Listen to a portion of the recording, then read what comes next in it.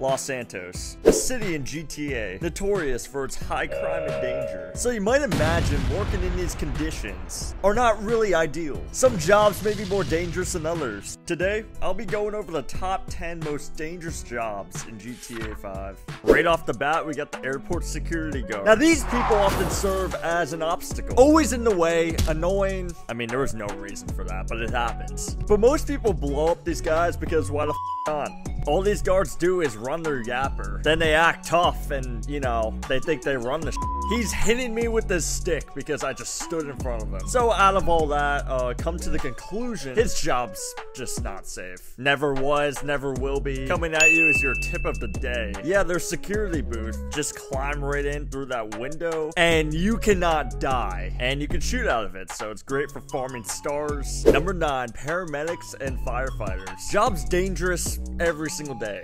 It's really just do the normal gameplay. You know, nothing personal here. Except that's a load of bullshit. Because let's turn our focus to the paramedics. From afar, it looks like they're doing their job pretty well. Let's get another camera angle. Not sure what they're doing. I wouldn't know. Not a paramedic. Oh.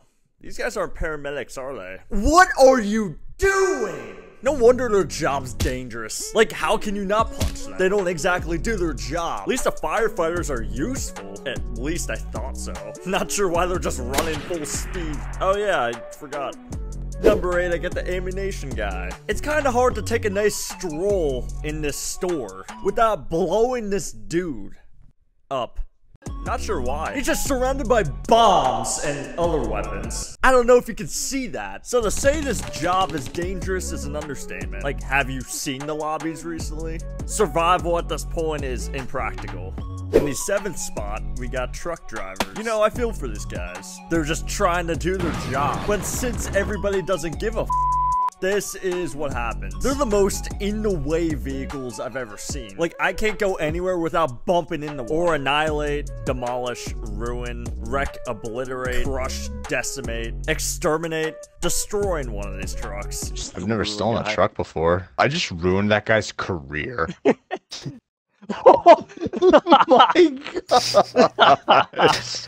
there you go. That was our seventh spot. Now, there's a lot of satisfying things in GTA 5. For me, this is one of them. Right outside my own nightclub, you got a bunch of people standing in line. So I tend to run them over.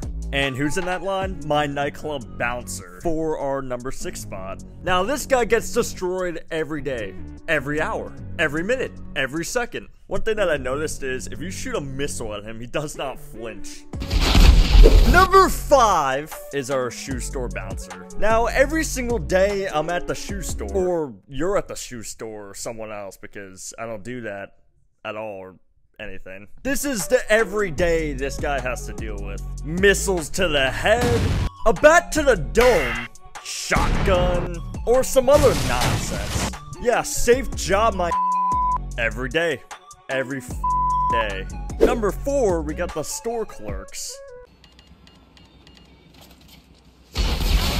You know how this goes. You're not gonna have a situation where I'm sitting here buying stuff, then I just leave the store without doing anything. No, that's not how it works. I'm gonna do it the right way. I'm not sure how this guy can ever make a profit because this happens all the time. Like, he's probably down $60,000 just working in the city alone. There goes a family vacation.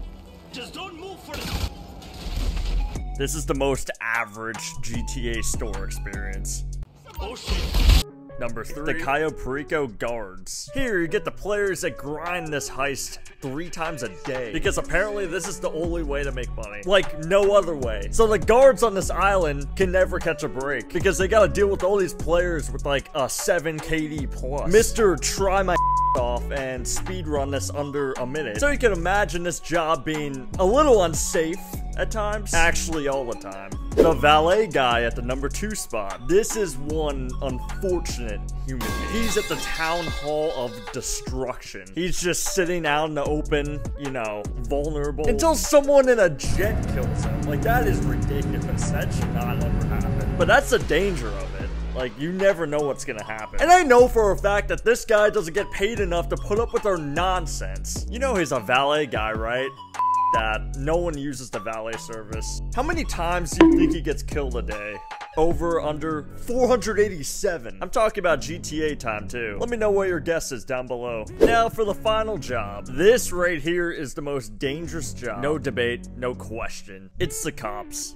I'm pretty sure if you did a try not to kill anyone challenge, you would still end up killing like two cops minimum. It is just something that you cannot avoid. And I see people doing five star challenges all the time, meaning they destroy cops for like an hour straight. For good reason too. The cops in this game are so annoying. Like I blow up an innocent civilian, cops are after me. Not sure why. Kinda just ruins the fun. These guys just work a 9 to 5 getting blown up the whole time. No break. Puts a smile on my face every time.